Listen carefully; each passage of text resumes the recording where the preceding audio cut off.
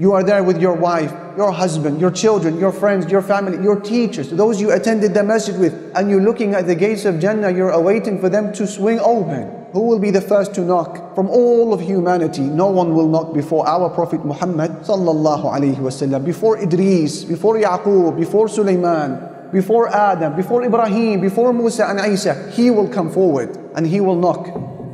The angels will say, Who is it? He will say, Muhammad. The angels will say, we have been instructed by Allah to not open these gates to anyone before you.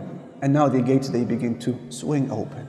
They enter Jannah and angels are standing in their reception. Malaika whom you will see, angels whom you will hear, and they will speak to you. They are just as excited for you as you are for yourself. And what do they say? Come in, come in. They will say, Salamun alaykum, peace be upon you. You've done so well. So enter Jannah you will stay here forever. And the moment they enter Jannah, they find that inside of them is the knowledge of the whereabouts of everything.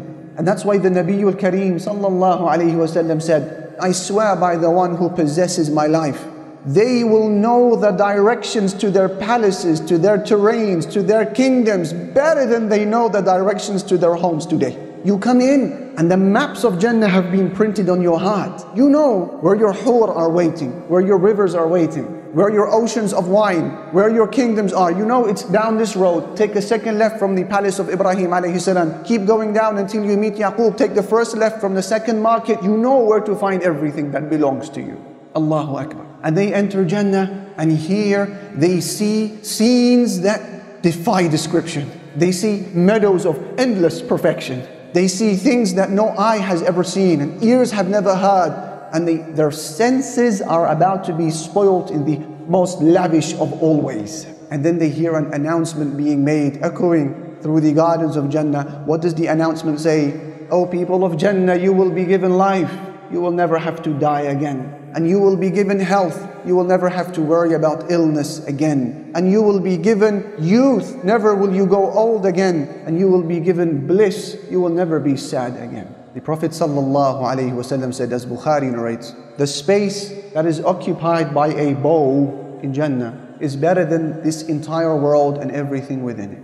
Allah subhanahu wa ta'ala said, وَإِذَا رَأَيْتَ ثَمَّ يعني هناك if you were to look over there in Jannah Allah said رأيت نعيما you will see delights وملكا كبيرا and huge kingdoms what is inside of these kingdoms there's buildings Allah said ومساكن طيبة في جنات عدن they will have pleasant dwellings within gardens of eternal residence and Allah said, لكن الذين اتقوا Those who are mindful of Allah, لهم غرف من فوقها غرف مبنية We will give them elevated mansions constructed one on top of the other تجري من تحتها الأنهار Beneath them rivers are flowing وعد الله This is the promise of Allah لا يخلف الله الميعاد Allah never fails in His promise the Messenger sallallahu alayhi wasallam said, لَبِنَةٌ مِّن فِضَّةٍ وَلَبِنَةٌ مِّن ذَهَبٍ وَمِلَاطُهَا الْمِسْكُ الْأَكْفَرِ He said, each building in Jannah is made out of alternating bricks of silver and gold, silver and gold, silver and gold. And he said, the cement that connects these bricks together is pure musk.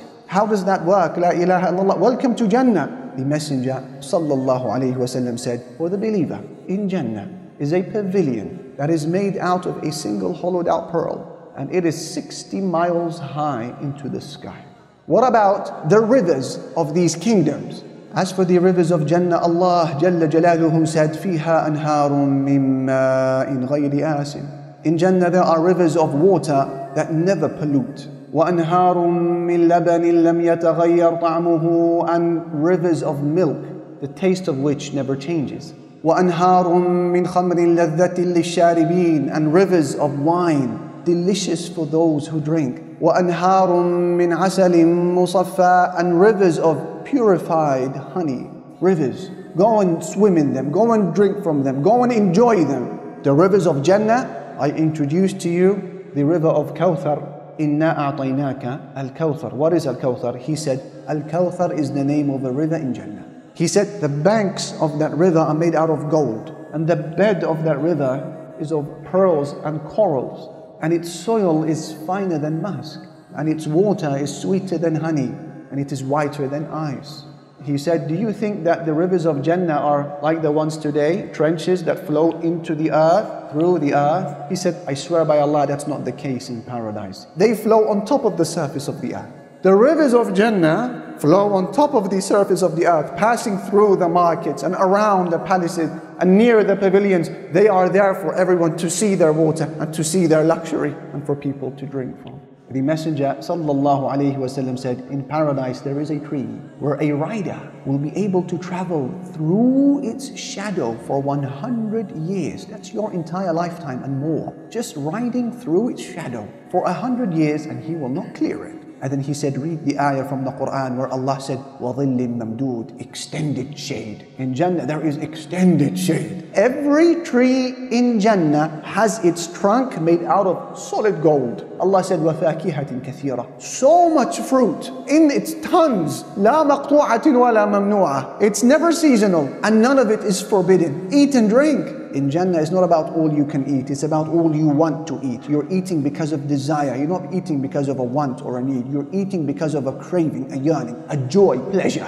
Pick from the pomegranates, pick from the palm trees, whatever wish, uh, whatever type of fish or meat you may wish for, you find it there in front of you. No cooking needed, no purchasing needed. This is the food of Jannah. And then you have wine. Allah said about it, لا فيها غول, there are no bad effects in it whatsoever. ولا هم عنها ينزفون. It doesn't intoxicate them. That's the wine of Jannah. وسقاهم ربهم شرابا طهورا. Allah will give them a purifying drink. That's wine.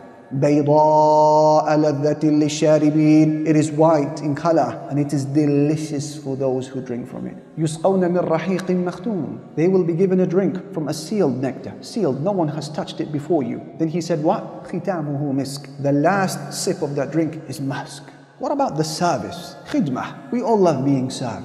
ويطوف عليهم ولدان مخلدون Allah said there will circulate among the people of Jannah young boys of everlasting youth. مخلدون, everlasting youth. إذا رأيتهم, if you were to see them, حسبتهم لؤلؤا منثورا, you would think that they are scattered pearls. يطوف, Allah said. They are circulating around them, all over the place. Meaning they're, they're full of energy. Wildan, young boys of everlasting youth. Because you know how it feels to be served by someone your age or older than you. It doesn't quite feel right. Allah says you won't need to worry about that. There's no awkwardness in Jannah. They're all young and they were created to serve. And then Abdullah ibn Amr ibn al-As, the companion, he speaks about service in Jannah.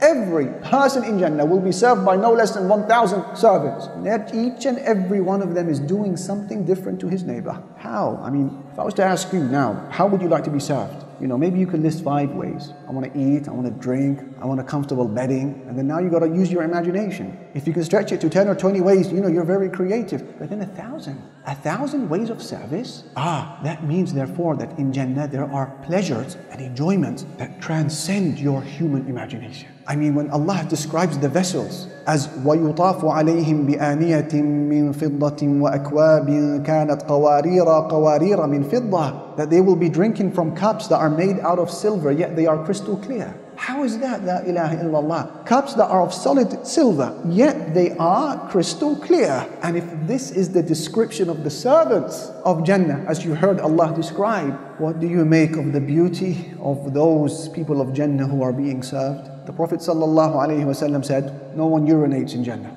No one defecates in Jannah. No one spits in Jannah. No one blows their nose in Jannah. You don't need to do any of that. He said, Their combs, they are made out of gold and their perspiration is musk He said, Sallallahu Alaihi Wasallam, that your need for the bathroom in Jannah is in the form of light perspiration that is produced by your body, and all of a sudden your stomach has shrunk and you're ready to eat again. Allahu Akbar. Allah said, وَنَزَعْنَا مَا فِي صُدُورِهِم مِّن غِلٍّ We have taken out from their hearts all bad feelings. إِخْوَانًا عَلَى سُرُرٍ مُتَقَابِلِينَ So they will be like siblings, reclining on thrones, facing one another. Harmony, agreement, peace, unity, love, respect. These are the people of Jannah. What about the climate of Jannah? Allah says, مُتَّكِئِينَ فِيهَا عَلَى الْأَرَائِكِ They will be reclining on their adorned couches لا يرون فيها شمسا they don't see in Jannah a sun ولا زمهريرا and they never experience a blistering cold so how will they differentiate between morning and evening if there is no sun and moon Shaykh al-Islam ibn Taymiyyah he has beautiful words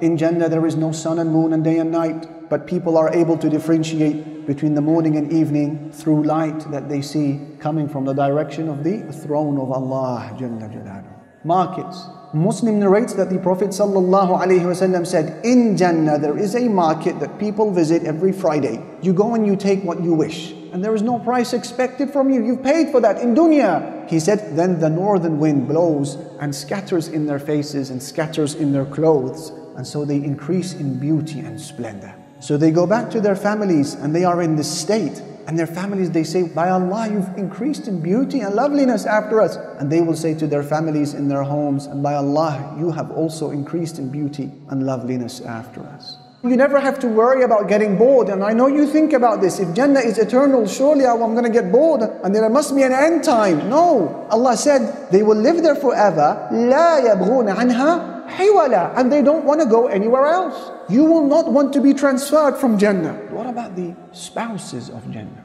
The Prophet of Allah sallallahu alayhi wasallam said, لو أن امرأة من أهل الجنة اطلعت على أهل الأرض لأضاءت ما بينهما ولا ملأته ريحا. If a woman from the women of Jannah was to look over into the life of this world, she would fill the heavens and the earth with her luminosity and she would fill it with her beautiful scent. That's just a glance.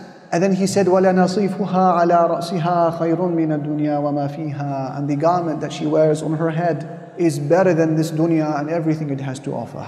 So if that is the beauty of the garment that sits on her head, what about the beauty of the person beneath that garment? La ilaha illallah. Allah says, وَحُورٌ عِينٌ They are hur. Hur, as some of the linguists, they said, يعني يحار فيها الطرف, meaning your eyes, they wonder at her when you look. يحار, hur. They wonder in amazement, well, where do I look and what is this? La ilaha illallah. Subhanallah. يحار فيهن الطرف. And then عين, meaning wide and lovely, pleasant and wholesome eyes. حور عين. Allah says كأمثال اللؤلؤ المكنون. They are like preserved pearls. And Allah said كأنهن الياقوت والمرجان. They are like rubies and corals in their beauty. These are the women of Jannah. And as for the men of Jannah, the men, they are also a different creation. The Prophet ﷺ has described the men as being jurda, meaning they are free from bodily hair. Murda, they are free from beards. Their eyes are anointed with kuhul, Bani Thalathin wa Thalathin, they are at the prime age of 33 years old. They are strong, they are healthy, and they're fit. Because the Messenger وسلم, has described the men of Jannah by saying, I swear by the one who possesses my soul, each man in Jannah will be given the strength of 100 men with respect to his appetite to eat and drink and desire and matrimonial relations. They are bursting with vitality. They are bursting with strength and liveliness. They are wholesome, handsome, beautiful men. Everything that the eye of a woman desires, she finds it in Jannah. And everything that the eye of a man desires, he finds it in Jannah. Stress. There is stress in dunya. As for Jannah, the moment their eyes fall onto the pleasures of Al-Firdaus and the gardens of Jannah, what do they say? They say, Alhamdulillah anna al-hazan. All praise is due to Allah who's removed grief from us, who's removed sorrow from us. Inna rabbana laghafurun shakur. Indeed, our Lord is forgiving and grateful. الذي أحلنا دار المقامة من فضله the one who's allowed us to live in this place of permanence لا يمسنا فيها نصب ولا يمسنا فيها لغوب they say no hardship touches us here and no inappropriate behavior in Jannah people rest and that's why when they asked Imam Ahmad ibn Hanbal, Oh Imam, when is it that people truly rest? He said, You will rest following the very first foot you take into Jannah. When all is said and done, the Prophet ﷺ says to us, that everything you've heard about Jannah is nothing in comparison to its reality. Because Allah said, أَعْدَدْتُ لِعِبَادِيَ الصَّالِحِينَ I have prepared for my righteous servants مَا لَا عَيْنٌ رَأَتْ Something that no eye has ever seen وَلَا أُذُنٌ سَمِعَتْ And no ear has ever heard وَلَا خَطَرَ عَلَى قَلْبِ بَشَرٍ And no heart could ever imagine. This is Jannah. We ask Allah to give us Jannah. We ask Allah subhanahu wa ta'ala to give us al-Firdaus al-A'la.